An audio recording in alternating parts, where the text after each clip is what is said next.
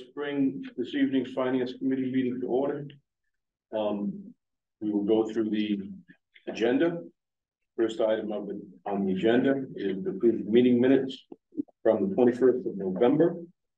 Do I have a motion? I make a motion, we approve the minutes of the November twenty-first meeting. Second. We have a second, we have a motion. Um, let's take a. Because, do we have to do? Yeah. Okay, Brenda? Aye. Hi, Anthony. Hi, Jim. Jim? Hi. Paul, yes. Aye. Aye. Okay. Paul on the phone? Paul at home? Paul Newland? Knows there. Wait up. He's there somewhere. And you. Um, um,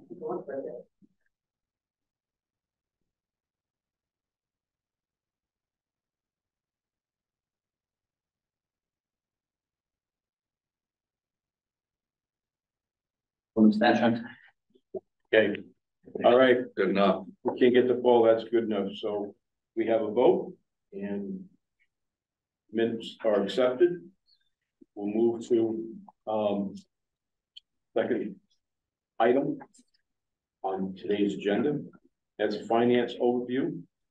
The weekly financial trends by our own town administrator. Mr. Brian Domina. Brian, Paul is in your court. Hey Claudia, Is that Paul can Newland? anybody hear me out there? Yes. Can you hear us? Evidently not. Evidently not. No.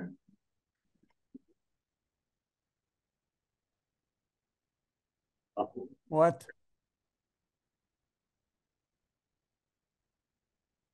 Shit. Hey Claudia, Yelling for Claudia, that's why. Yes, in case. Okay. Paul, Paul, if you can hear this, read this. We hear you.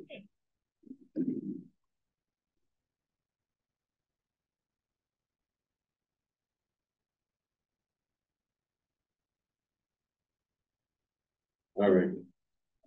Hmm. JD, how you doing? What? Paul Newman's Paul on, Newland's on. on Zoom. Does it tell you who else is on? It would if there was anybody else on, but Yeah. he's, he's in. And this is also broadcasting live. Oh, on TV. Yeah, So, Yeah, yeah, you gotta keep that in mind. so You get fined by the FCC if if they say bad something things. bad, Yeah, we'll lose our jobs. maybe. it goes. No, you have extra term. Hey, yeah, you get an extra term. All right, Okay, let me just start. from the beginning here. So this is the typical overview that most everybody has seen and it's updated for. Um. For this year moving forward, but I think it's a good refresher. Yep. Um. So. Categories are, so revenue and expenses, right? Categories of revenue, tax levy, state aid, local receipts. Um, we have our reserves, uh, we can borrow money, and there's other sources of revenue the town can get.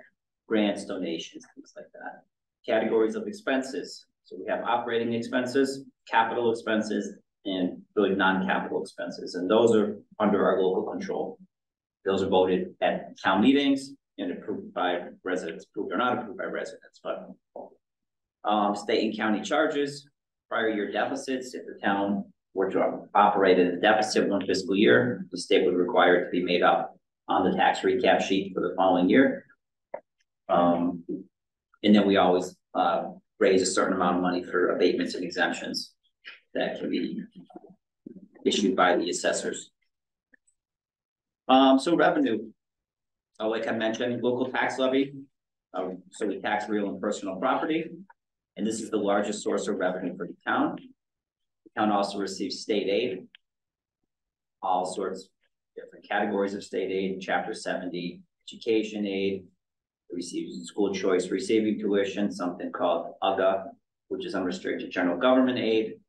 uh, all sorts of, of different types of aid. Local receipts are additional funds received by the town. Again, there's a number of different categories here.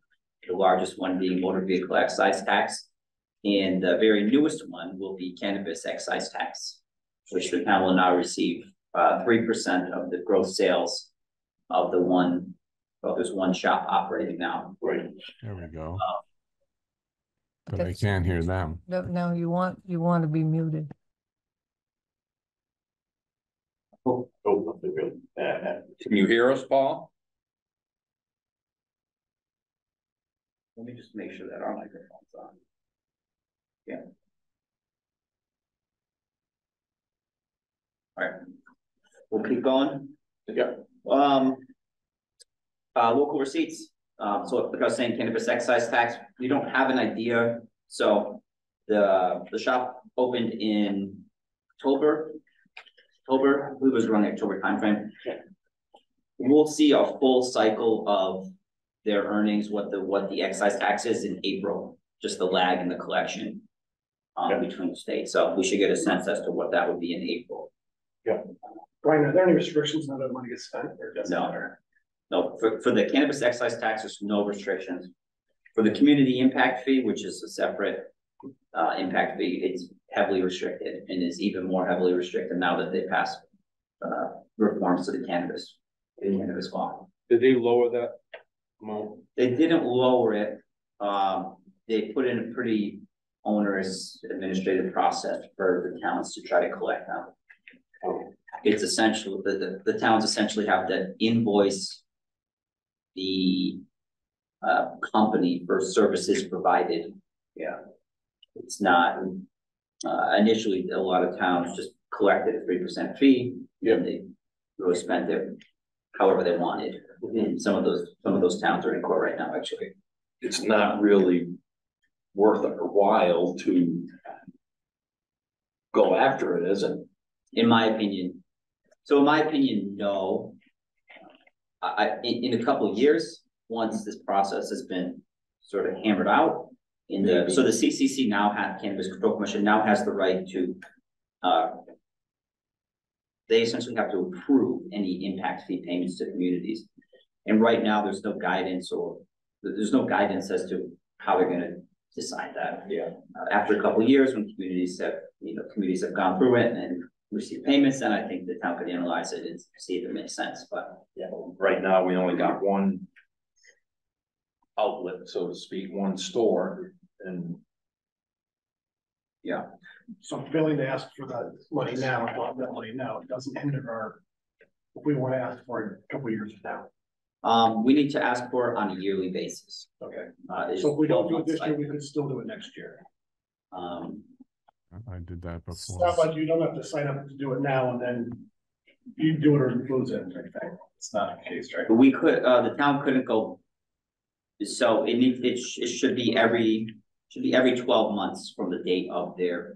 we can't go back, They start you know. operating. We can't get back there, Right. but if we don't do it for this year, next year, if there's more One of them activity, to, to, we'd still be Well, I willing can pin Brian, for that, for that year. Yeah. I guess.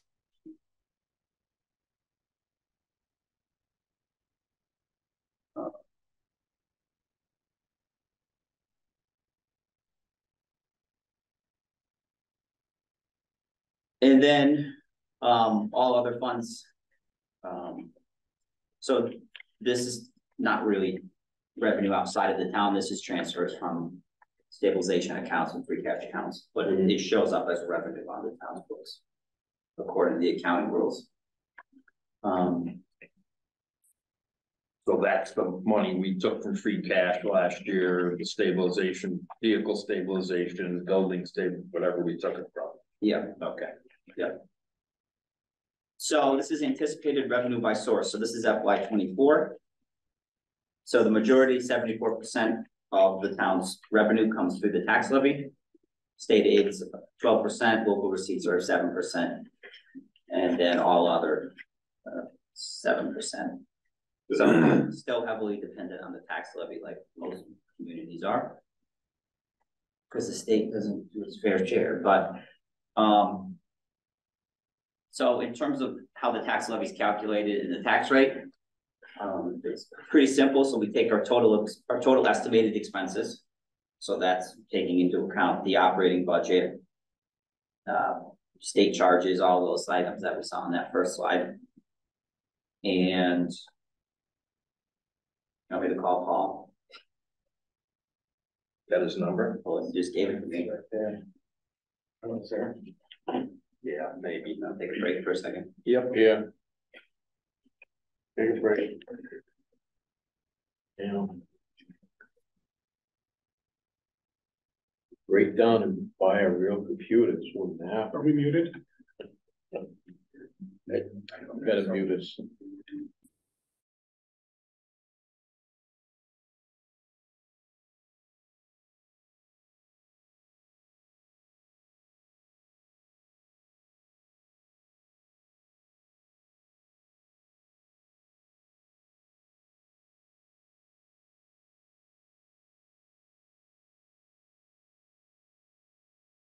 Can anybody hear me?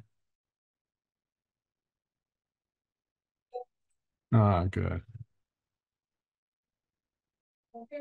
Hi, Brian. I can't get audio for the Zoom. I've got, Where? I've got, I've got them right here. Okay. I've got video, but no audio. Oh, okay. And I can hear you if you hold the phone there. But I can't, I can't hear you if you don't hold the phone there. I don't know what's wrong.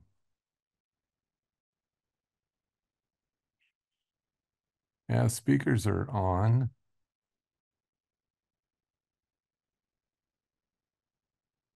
Uh, let's see, you.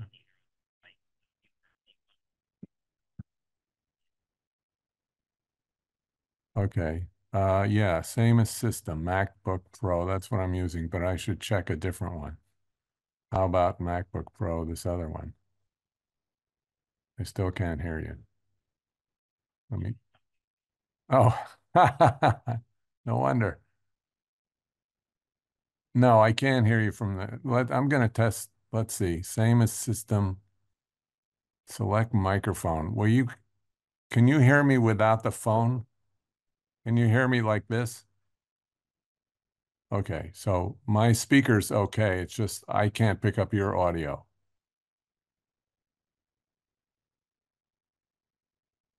Okay, I pressed something up. Speakerphone's okay, that's what I'm gonna do. I got you on speaker.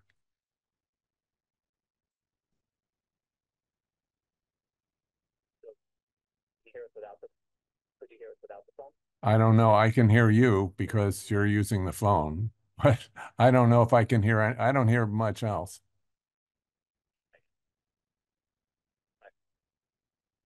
I'm gonna mute my phone and unmute Zoom, okay?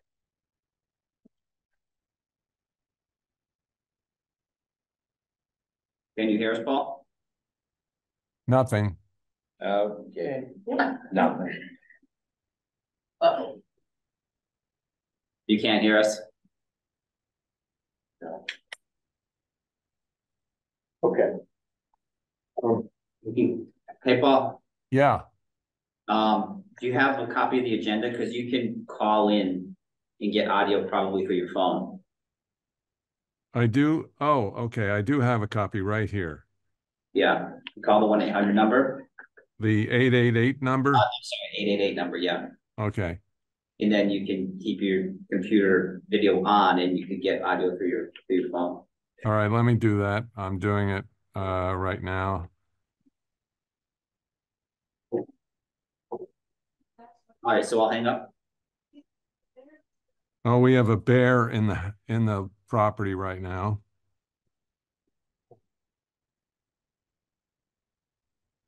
Get him on.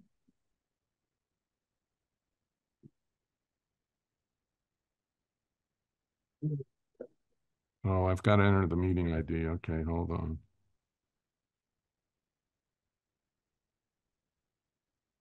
I don't. He's got it. Yeah. Well.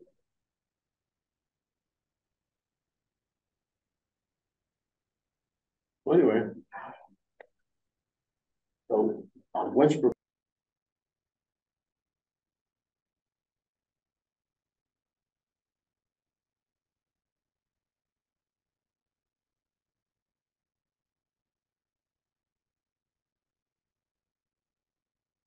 I'm, I'm in the waiting room now.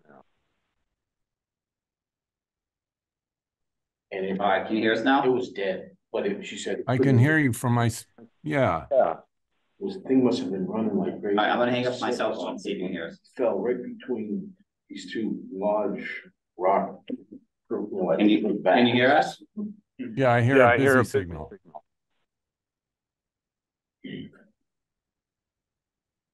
I think we got cut off. Oh, there you go. Yeah, I think we're good, right? We're good. I on just that? hear a busy signal. You good? Sounds. How come mute is on? The city got a, has a busy signal. Thank you.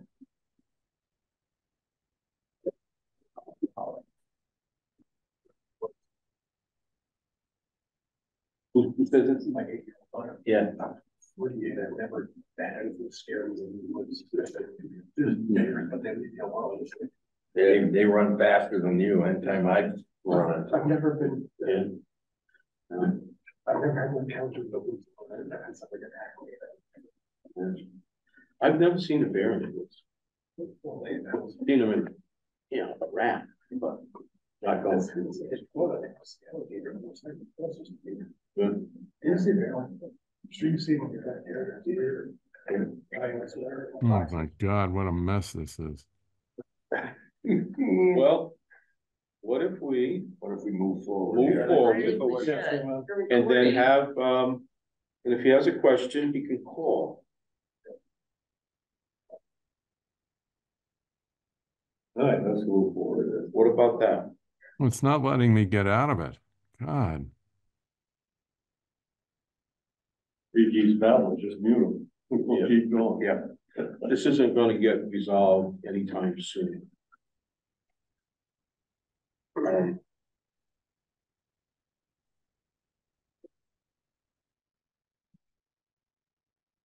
All right, Yeah, okay, all right, we gotta move. Um, hopefully you can call back in. Yeah. Because it seemed to work that first time. Right.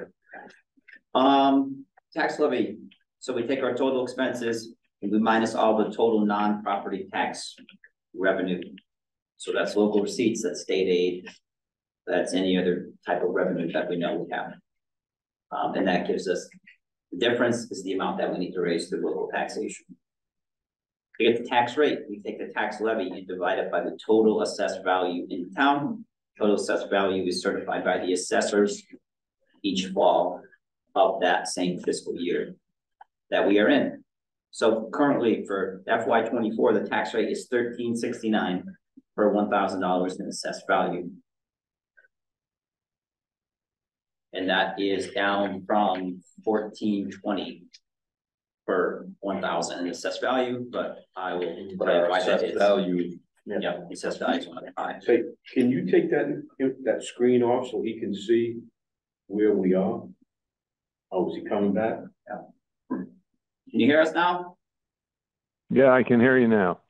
All right. All right, Did I miss anything? Haha. Uh, we got you.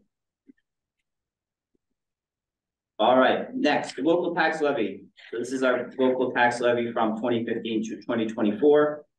Um, this is, uh, the percent change, so the tax levy itself, not necessarily the operating budget. But when we're all, when it was all said and done, it went up four point one six percent. In terms of dollars. So proposition two and a half, just do a quick overview of that. Don't make it too quick, no. All right. So Prop two and a half, this is probably one of the most misunderstood parts of municipal finance. Um, Prop two and a half limits the amount of new tax dollars that a city or town can raise from year to year. Um, it's not necessarily that you, that you can't raise your budget by more than two and a half percent. It's not that you can't raise your taxes by two and a half percent. It has to do with, with total amounts, and I'll, I'll show you that a little bit. Um, so there's something called a levy ceiling. And there's something called a levy limit. Right, and this is a pretty good graphic that I stole from the state. So the levy ceiling. Is an amount for the tax levy that can never be exceeded. It's a hard cap. Um, if the town reaches their levy ceiling or, or city, which some have, um, in the past ten years, they have to cut services, they have to cut expenses. They, they can't go above that. They can't tax above that. The levy limit is the maximum amount the levy can be in a given year. In each year, the levy limit increases by two and a half percent of the prior year, and this is, this is the, this is the FY twenty-four limit. Right, so the twenty-three levy limit was five point eight million dollars. So when we calculate the FY twenty-four levy limit, we can add two and a half percent of this amount. And we can add something called new growth, certified new growth. And new growth is, um. It's an amount attributed to new development, new building. It, it is not. What it excludes is just, let's say the assessors. Want, uh, agree that colonial should be raised ten percent, right? That's not new growth. New growth has to be new buildings, new development. Things like that. Um, so we add the, we add these two amounts together. We add that to the prior years, and that's where our levy limit is. That's where levy limit is set at. But you have to, um. That's not a number that you have to hit. Oh, no. Correct.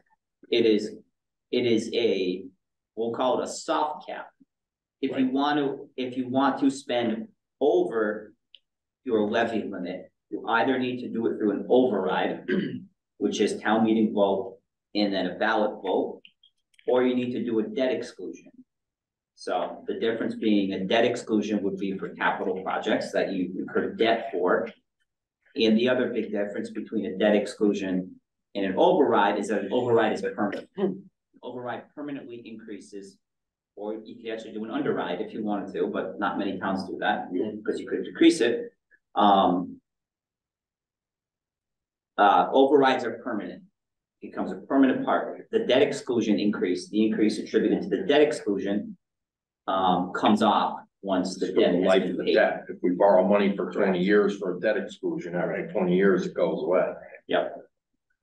So that's how Prop two and a half works. Um, the difference between our tax levy, I'll get the next slide, um. I just about that. The difference between the town's actual tax levy, which we talked about here, which is the four point eight nine million. And the six, uh, we'll call it six million, the difference between your levy limit in your actual tax levy is something called your excess levy capacity. That's an amount that you could raise through taxation without the need for an override. Which we do not do. Which we do not do. which So there's no need- there's no need to do like that. To be in opposition. Um. it- just quickly, I wanted to touch on certified new growth, because this is the one part that concerns me. When I look into the, when we look into the future and going forward here, goes the fall. So certified new growth, this is the town since twenty sixteen. In twenty sixteen to, let's just say twenty twenty, or even twenty twenty-one. There was development going on in town. A lot of it was residential development, but there was development. And before that, there was, there was development in town. But recently, a lot of those opportunities for additional growth and development have either already been taken or there's just no new ones being created. So what you're seeing is a certified new growth shrinking. Um, that's part of the reasons why the, why we wanted to start looking around the exit thirty-five area and do that economic development study to try identify, to try to identify opportunities for, for new growth, for development to happen. Because if you remember, this is, this is what keeps your two and a half limit increasing. Um, you know, that new growth is added each year, so as that gets smaller. Uh, your excess levy capacity is likely to shrink if, depending on how much your tax levy goes up. Uh, I talked about override and debt exclusions. capital, capital outlay expenditure is also something similar to, to debt exclusion. Those are just two mechanisms where, how you can go over your levy ceiling, how the town, this town can spend more than the six million levy ceiling. Um, so I mentioned excess levy capacity. So this is the town's excess levy capacity in twenty twenty-four, It's, you know, one point one six million. So that additional amount could be raised in taxation without a ballot vote, essentially. Um, and this chart here is showing our excess levy capacity, and it's showing the purple line is the increase in total assessed value. So what's been happening, um, is that, you know, total assessed value has been going up. You know, since 2020, 2021, it's gone up significantly. It's gone up quick, right? Mhm. Um. But what's been happening in terms of our excess levy capacity is it's sort of leveled off, right? It leveled off at, it it peaked at about one point two million. Yeah. And then it started to go down a little bit. And last year, I think it went down by, well, for FY twenty-four, it went down by about four to five thousand dollars. So why is it, it's, why is it doing that? It's doing that because the tax levy is increasing faster than the levy ceiling's increasing. Because that certified new growth is shrinking. down. Um, and expenses are, and expenses have increased faster, right? Dramatically. At, at a faster rate the past couple of years. So it's just something, I always look at that as a target to see, you know, the town's overall spending. If, if we're, if that excess levy capacity is shrinking, then it means, at least in terms of proposition two and a half, well, the, the town is, our spending is increasing more than the prop two and a half increase would allow. Which, if you, if you carry that forward, eventually it would lead you to an override vote. Yeah. Um. So that's just something, something to keep in mind. All in all, compared to our neighbors, Whately's in a very, very healthy position. Um, that I call this prop two and a half hell, when you're right up against the cap. When you're right up against, I should say, not the cap, but you're right up against your levy ceiling here. Um, really, once you're right up against your levy ceiling. The only increase, the amount of increase that you can handle is the two and a half percent of the prior years plus your certified new growth. And if your certified new growth is low, then you're really looking at, you can only, you know, in terms of prop two and a half, you can only increase your spending, your, your tax levy by two and a half percent, whatever that amount is of last year's. Um, unless you go for an override vote. So, Or reduce yeah, expenses. Yep. So the town, so Whately's done, a- done a pretty good job of, of, of maintaining its ex- excess levy capacity. Um, And I can't see the colors here, but I think this is, I, I feel like Sunderland just went for an override vote last year, the year before, and they're already up against, up against it again, so. I think Deerfield has to do that. This year. Yeah, yeah, if they wanna, I, I would suspect that they would, because. But- Not spending. in some ways, this is. A double-edged sword, because then the state looks at this and says, we don't need as much state aid because we're not spending all the money we are, we're not taxing to our limit, limit. So why should the state give us? Uh, you know, I'm, well, I, I think the way state aid is is absolutely ridiculous, but, uh, I mean, if I was, uh, in this. State office, I'd look at this and say, well, you know, Whately's in pretty good shape, why are we giving them money? Well, it has to be part of the formula. I don't, I don't think it stands alone. No. And they view this as, you know, ability to pay.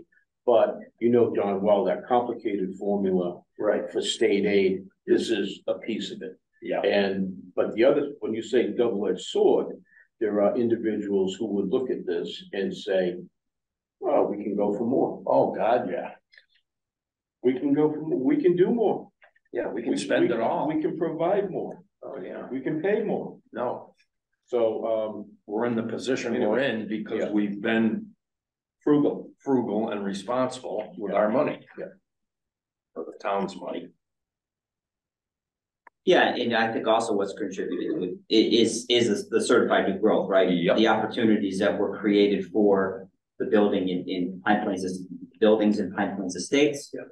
Um, Dickinson Hill Road, whether, you know, I'm not passing judgment whether that's right or wrong, it, it was certified, it, it led to additional certified new growth. Right. And if the town doesn't look forward to where that new growth is gonna come from, it's going to stay low. Yeah. And what's gonna happen, as, as we all know, expenses, expenses go up incrementally. And if, if we don't attract or pull in, I- I'll just say additional taxpayers, then the burden, you know, the burden on the, the taxpayers, the existing taxpayers increases. Yep. Yeah. Um, and from what I can tell, you know, the town should be encouraging appropriate, you know, it can be done through, through, through the planning board and, and amendments to the zoning bylaw, but you know, appropriate new growth is important for the town to maintain a favorable Mhm. financial position. Yeah, I agree with that, I, I think everybody would, um, the, um. The problem with that is that, um, it's a free market system. And the government can't drive building. Right. It can help it, but it can't drive it. It can set the So if- conditions for it. if we, if, you know, you, you, you need an atmosphere where, um, things are affordable. Land's affordable. Building is affordable. If those things aren't there, there's not a whole lot you can do about that. Yeah, I, I think towns do a lot, towns can do a lot to set conditions for development, We'll look at that with the planning board. you know. Yeah. They can zone. Uh, properties correct, uh, not correct, but they can zone properties. Or not zone properties for certain uses, and they can provide any utilities to the, to, to the property that, like water. Yep. Thank goodness Toledo doesn't have sewer, that's a brand for a different thing. Mm-hmm. but, um, at least water.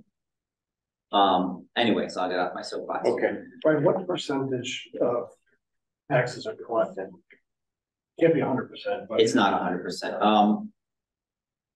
I wanna say, the past couple of years, I, I think have been pretty good.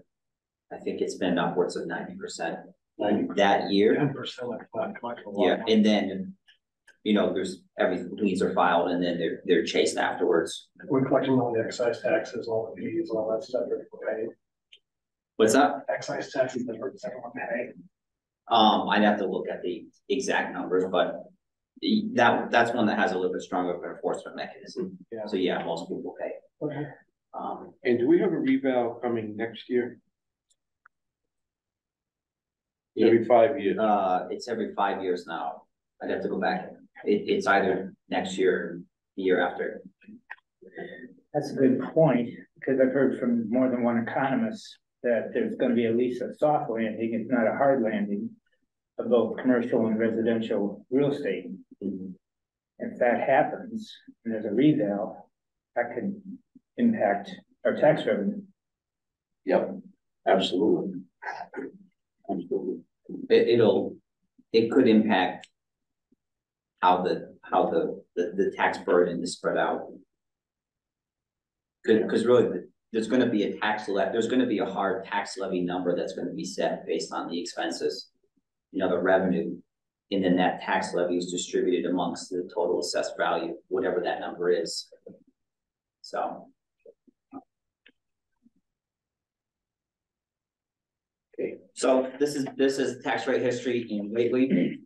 Um, you've all heard that, my opinion, tax rate is not a good indicator of affordability. And it's not a good indicator of tax burden on residents. Um. But I'll get to what I think in a second. So tax rates of surrounding communities. Whately is, you know, pretty, it, it's lower than a lot of the surrounding communities. My, my, uh, my addition about Deerfield is you add about two dollars to whatever their tax rate is, because they have private districts that provide services, Fire and fire water. So Deerfield's effective tax rate is closer to the fifteen eighty-five. So Whately's tax rate is, pretty low compared to, to surrounding communities.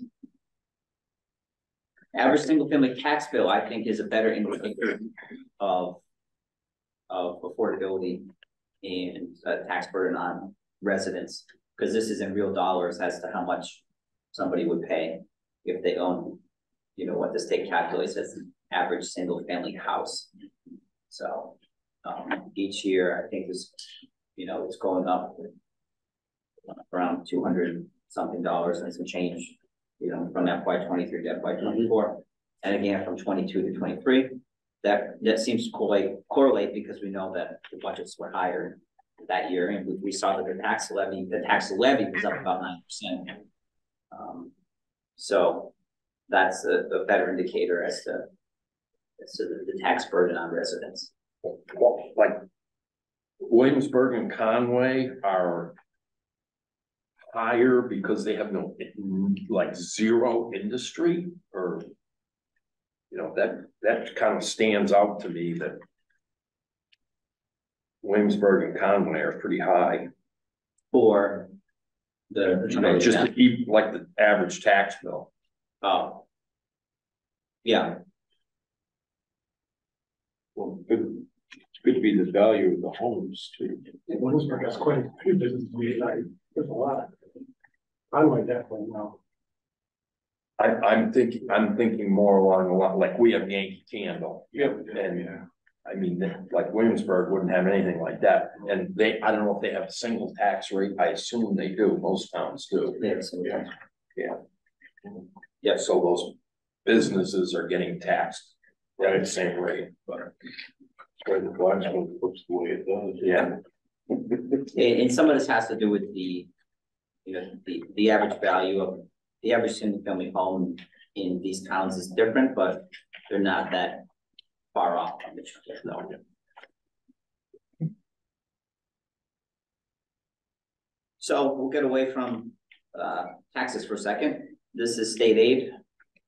Totals for state aid. Um, it's up and down without really much rhyme or reason. Uh, well, twenty-one and twenty-two, there was a big concern about state, uh, state revenue COVID. during the pandemic. Yeah. Uh, twenty-three and twenty-four.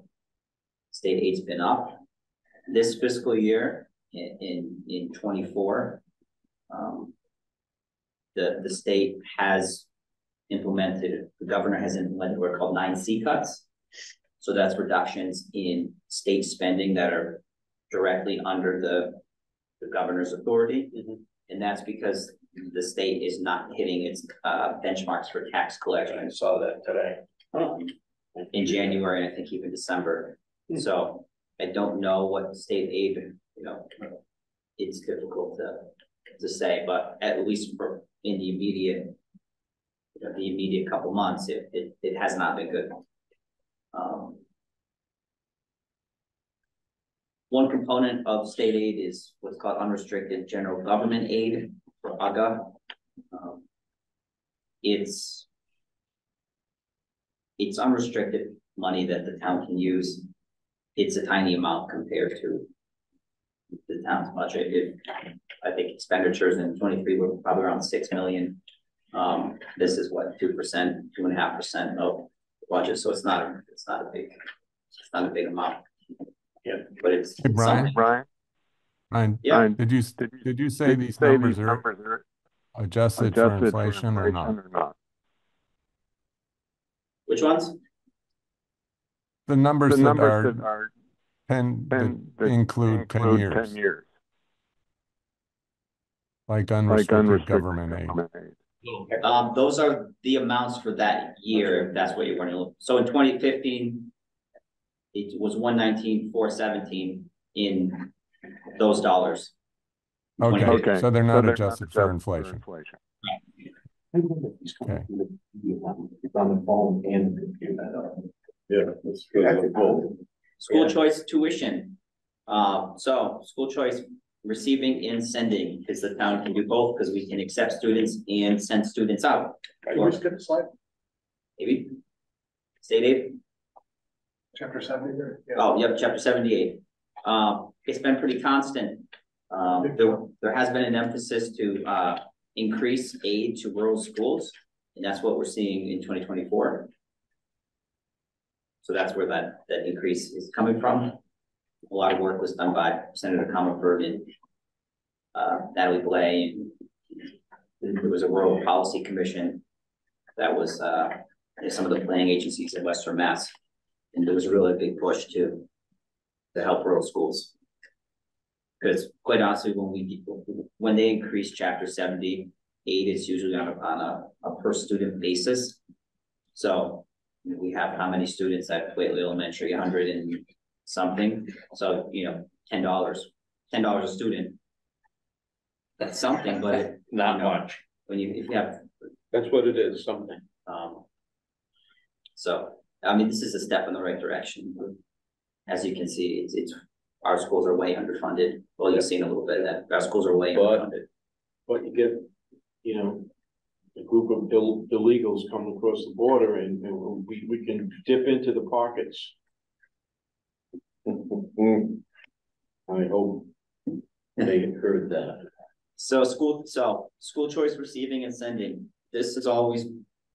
Um, it, it, well, there's always a debate about whether it's good or not, but for Whately, school choice has been financially a positive in terms of the amount of money taken in versus the amount of money sent out. And, um, so, but overall, there's a trend for Ele- so this is just Whately Elementary School. For school choice money coming in, school choice receiving funds could be decreasing. It was around, you know, in twenty fifteen, it was over three hundred thousand. And it, it hovered around two hundred fifty thousand through twenty twenty, and it, you know, now it's dipped below. Um, Well, it dipped below two hundred for a little while there, and it's back up a little bit. So this school choice monies are monies, monies that the, the school can use for any purpose, really. It's unrestricted in terms of how it's spent. So school will tell you that they're, that they're concerned about shrinking school choice, uh, monies. And to some extent, I, I think they're right. Um, So, school choice, the- so the argument goes that school choice is, is, is a positive when it's used to fill a classroom seat. When it's used to defray expenses that you're already gonna incur anyways. Mhm. You get five thousand dollars, which that money needs, that, that amount of money needs to be adjusted for inflation anyways, because it's been five thousand dollars forever. Yeah. Um, so it makes sense if, to me, it makes sense if, if you have an extra seat in the classroom, there's very few expenses that you're gonna occur. On top of that, um, you get the money in that. It, it, it, I think it becomes troublesome where i- if you're if you're bringing in the number of school choice students where you have to incur additional expenses beyond what you're gonna take in, then, then the town is paying. Yep. You know, The town ends up paying for that. Who decides the limits of how many school choice kids to admit? Uh, it's a school committee vote. I think the school committee votes each, uh, the school committee votes each year whether to allow school choice and with how many spots are. Yeah. So Whately Elementary School has one classroom per grade. Um, When we look at town demographics and we look at class sizes coming in. I believe, I don't know if it's this year's kindergarten class is, is quite large. Um, Yeah. it was this year's. Um, so school choice spots are, Limited. are limited, so that revenue, you know, that the school choice receiving funds should go down. Right. Um, and then the burden of educating the, uh, there's not that extra funding that comes. Um, So the budget will reflect that, sure. yeah, school choice, you would expect it to be, you expect it to be less, It's Gonna start going down. assuming there's a fixed number of seats in the classroom. Yeah. Which I, I don't know how the school committee looks at that. There's going Presumably there's some limit, um. Anyways, charter school, so this is, uh, another cost that is thrust upon the town. Is that students have a right to go to a charter school, and the town is required to pay for that tuition. Right. Um, the charter, the town receives a small amount in reimbursement for that. And it, it never covers the, the, the full amount that, that the town pays out. So the town pays out for residents, resident students to go to charter school, Yeah. This does not include vocational school? correct? Okay. And How much per student? Um, it's tuition based, charter schools tuition based. Okay. Yep, And the state just takes those monies and distributes them. The towns or the school, Yeah, they withhold from our cherry sheet. right, yep, it's on, it's, yeah, it's a deduction on the cherry sheet. Um, actual local receipts, so this is money that the town takes in, not tax revenue. Um, so actual local receipts, look over this time period, it's, it's increased somewhat, fluctuates, went up and down a little bit depending on what's, what's going on. Honestly, a lot of it has to depend on motor vehicle excise tax, because that's the largest amount that the town collected. Um, and so in FY twenty-three, it was sixty-two percent of local, our local receipts were were motor vehicle excise tax. Right. thanks, Jim. It's, it's a huge amount.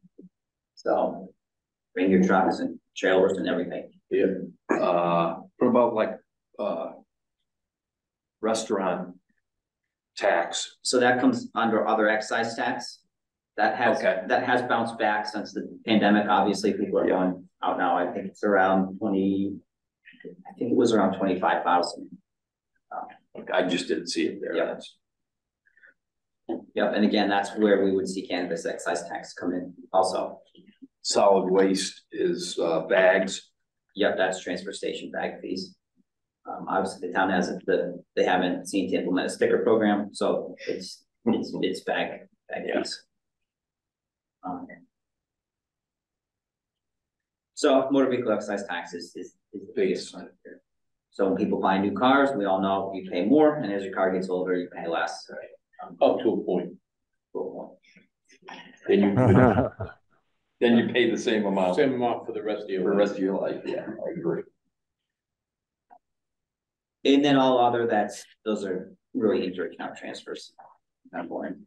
Um, so that, that's discussion about revenue. What about expenses? Um, Education is fifty-six percent of our budget. This is an FY twenty-three, because we're not, we're not going through FY twenty-four now.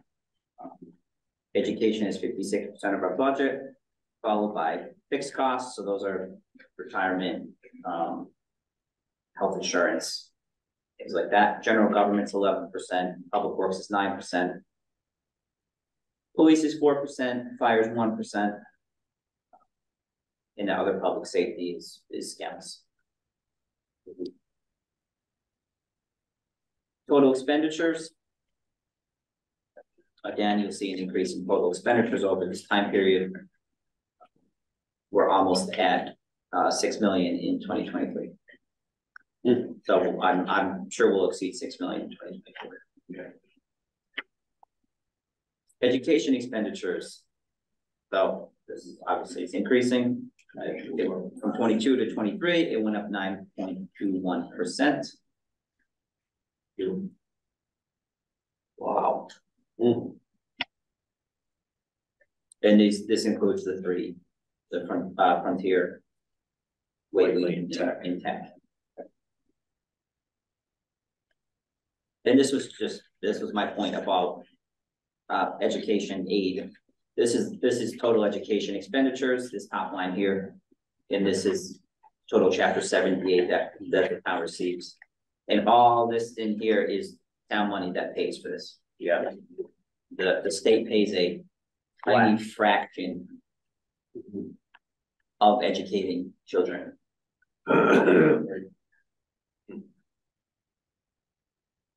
And as you can see, the, well, it's a little bit difficult to see, but this yellow line is rising faster than this red line. Which means that Uh, this part of the town, the burden on the town is only increasing every year. Because the state doesn't see fit to increase. uh, Education. Um, Fixed cost expenditures, again, this is retirement, this is health insurance, this is benefits. Um, You know, there is, it is going up.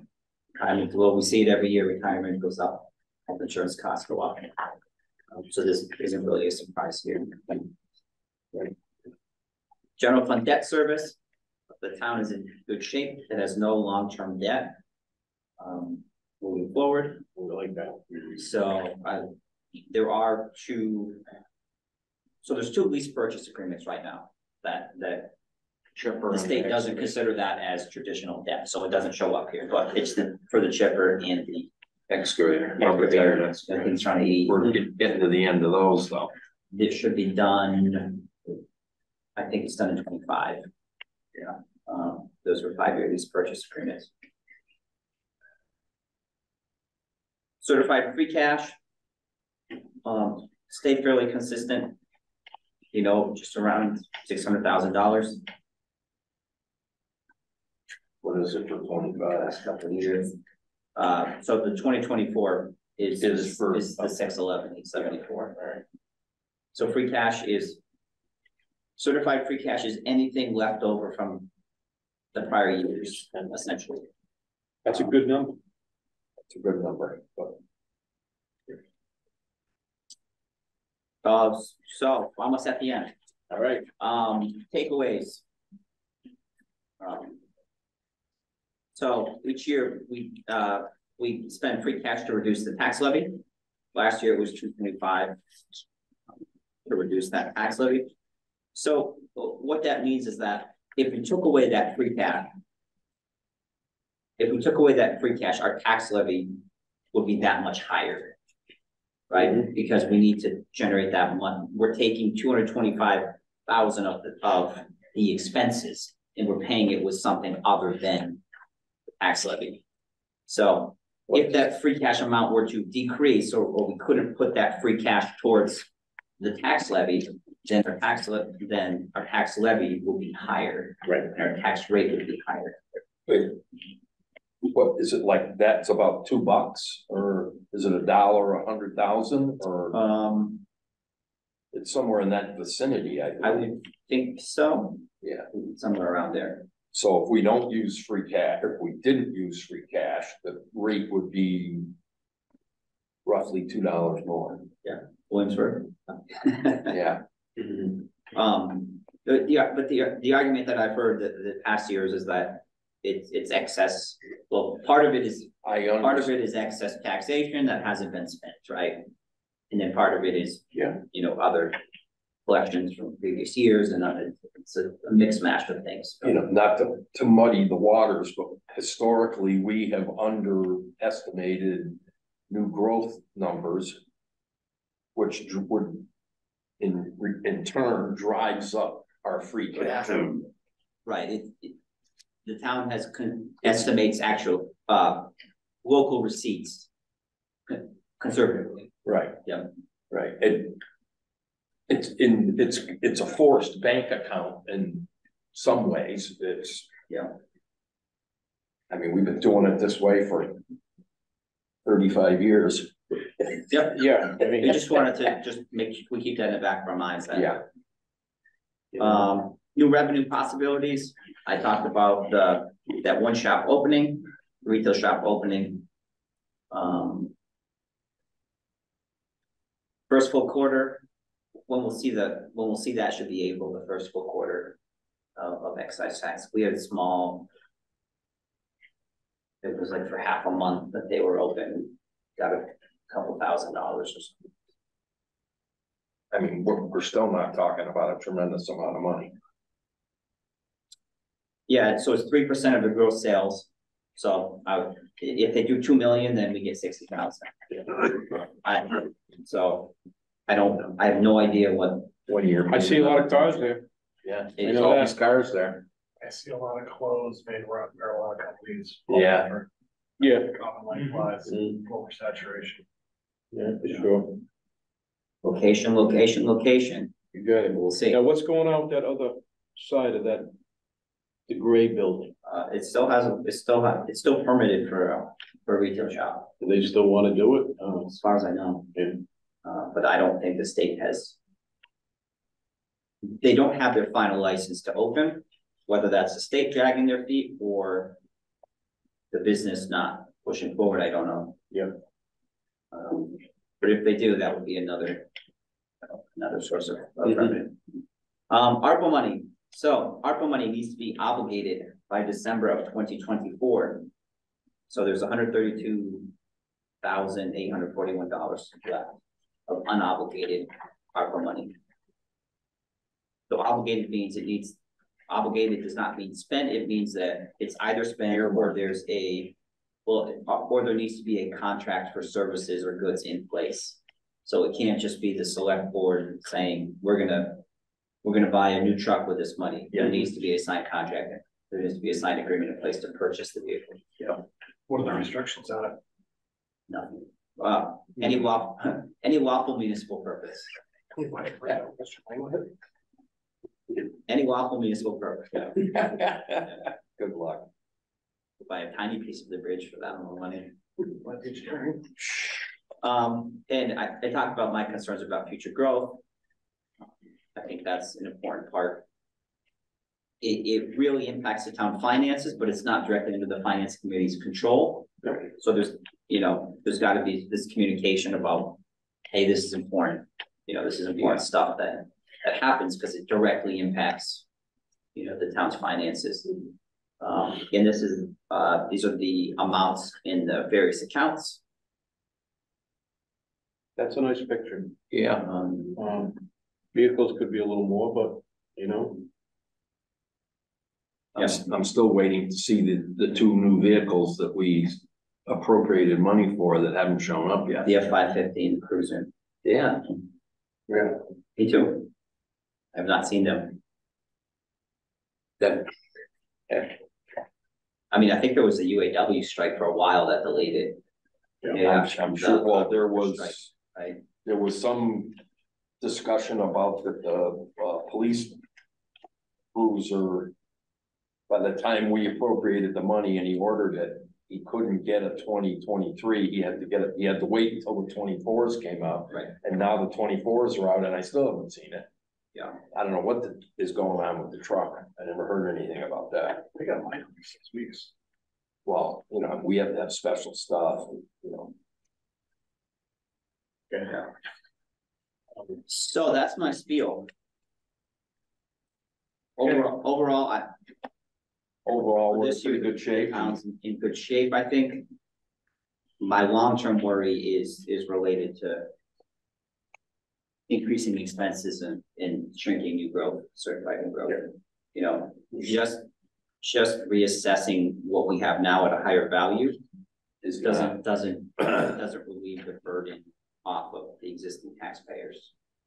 Right. Um, are So, there, are there any, s- other than those, are there any storm clouds, are there anything coming to, um, put pressure on the budget or put pressure on new highway garage.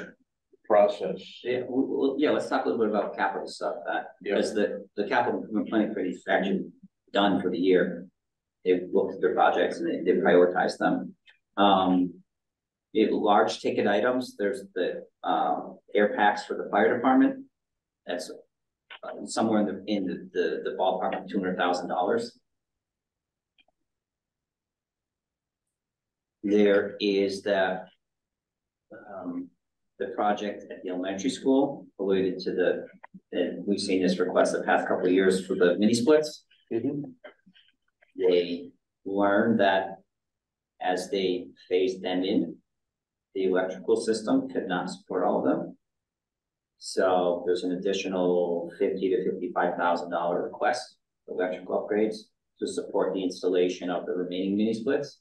With the remaining mini splits being around hundred and ten thousand, so. at The end of the day, we're looking at hundred sixty thousand roughly for that project.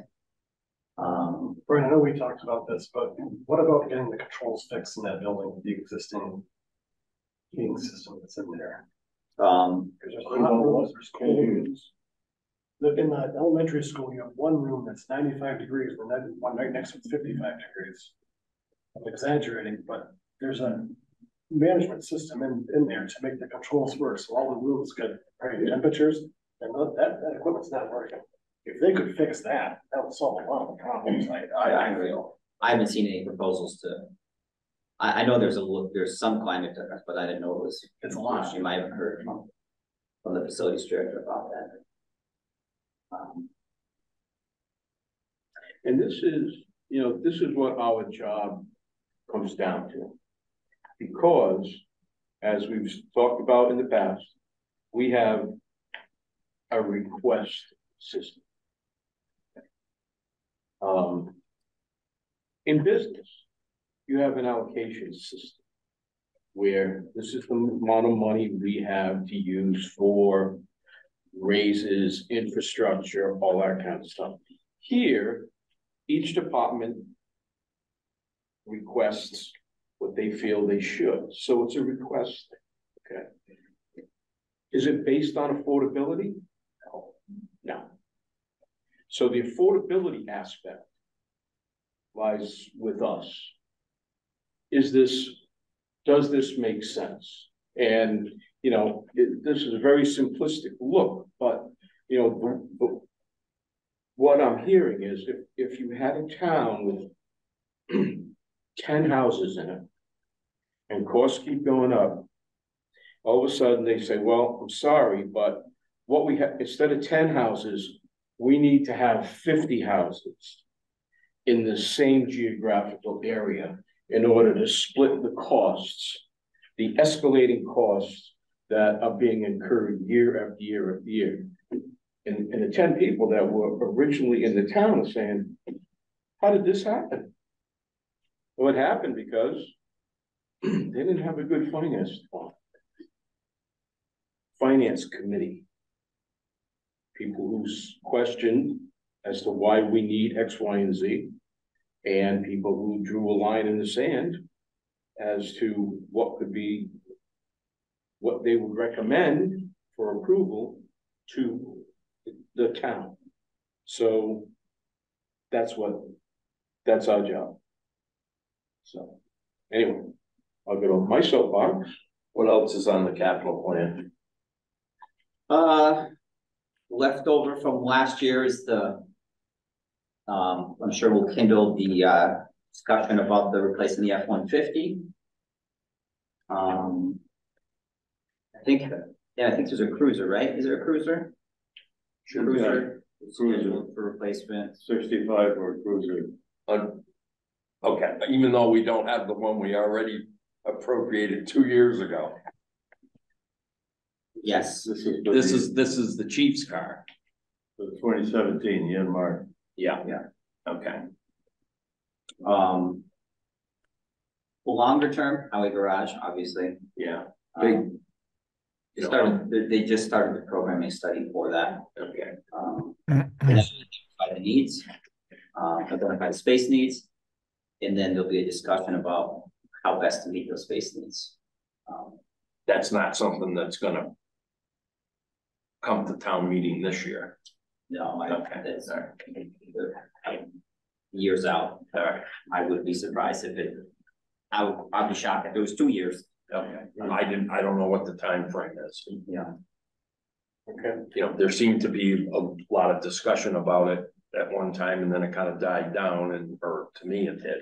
And now it seems to be coming up again, so. Yeah. Longer term, there's, you know, there's.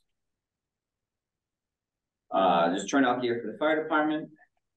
That's in twenty-seven. Um, there's whispers about needing expansion at the fire department possibly.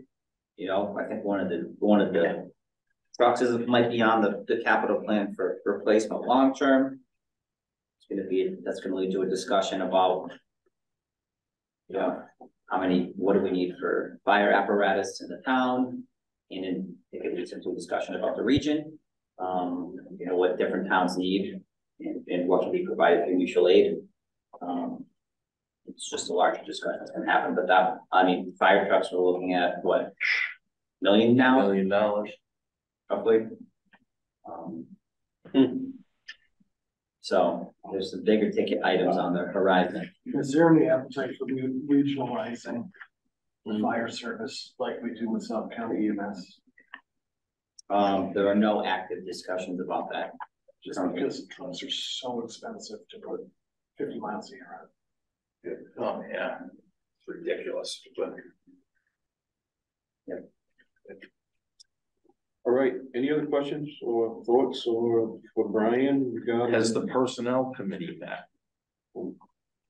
No, not to discuss, well, the personnel committee is working on revisions to the personnel committee bylaw.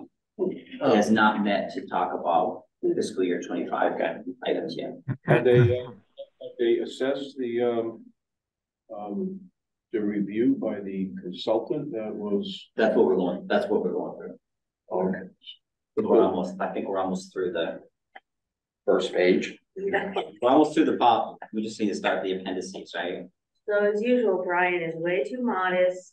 Uh, he has had to do a fair amount of work on what the draft we got from the consultants, which has caused a fair amount of conversation amongst the committee about why that would be. But Brian has, as usual, done a great job and as usual is not seen his own virtues. But yeah, the, the draft we got just gonna say it was, it, it left a few things, a lot of things to be desired, and Brian went through on his own time, well, not, yes, his own I still got there, don't worry. All right, well, anyway, good, anyway, Brian has done a lot with it, because it was not Whately's, it was a Right. copy and paste of a Uh, bunch of different towns. oh, I mean, that's, that's not even me trying to be mean, that's just quite clear when you read the town of Goshen in your policy, they're like, whoa, good, why we're looking at that, so, Right, yeah. Um, but I, I think we're making progress, and it is largely thanks to Brian taking what they did and make it actually match what happens in the town of Whately, not some hundred and something pages that we don't follow, so don't have a policy if you're not gonna follow, it, just don't have a policy. Right. well, thanks, Brian. Well, we hope it comes out soon. Yeah. Sooner rather than later. Um. So, okay. All right, all right, sir. Schedule, planning Now schedule. we got a plan. Okay, so. I gotta run to the copier, cause I left these on the copier. Whatever. Oh, the, uh, The, the, the dates? yeah, Okay, I- did everybody get the dates? Um, Yeah. is, um, is everybody good? I know that you'll, you'll be out for the next meeting. Um, you know, the way it's structured is that we will have two meetings, just the finance committee. Um, and we'll have the other meetings in conjunction with the select board. And that's important from a couple of for, for a couple of reasons. First is that it's efficiency, so that do- it does, doesn't have to be done twice. Presentations of the. What? Presentations from the departments. Right, from each of the departments. And then on top of that, you know, the communication between the select board and the finance committee can be enhanced, we're all in the same room. So that's the, uh, that's the reason behind that, but we will have two meetings, which just the select, which just the finance com- committee and, um, and as we have done in previous years, when the departments come in and present, we do, we don't vote on that day. Um, we wait, and in, in this case, I, I think we will probably take votes at those two meetings that we have alone, so we can discuss it. You know, what is being requested, and if those requests, um, which we will be recommending, so, um. So. That's what, that's what the approach will be again, so. Any questions or thoughts about that? Um, so the one addition to this. yeah, I, I wanted to check. I talked with Darius today. Yeah. Um. So the next meeting would be Tuesday, February twentieth, right, and then, um, he wanted, like, he and the school committee wanted to come and talk. Um. So we're trying to find a time that last week of February. Where they could come, so okay, we're hoping Wednesday, February twenty eighth. If folks could do that. Wednesday, say that, Wednesday, February twenty-eighth. Kind of came out dark here. oh, okay, It's that blue, right, right, gotcha, because the, okay, the Frontier budget hearing is March fifth at, at Frontier, and then the Whately Elementary School budget hearing is on March sixth, the following day. will we have the budget? Uh, we should have it before the, the meeting on the twenty-eighth. I believe the Frontier budget will come out fairly soon. Okay, So in this case, they would be, they would be coming here to talk, and then the fifth would be at Frontier, and then the sixth would be at, at the elementary school, if anybody wants to attend.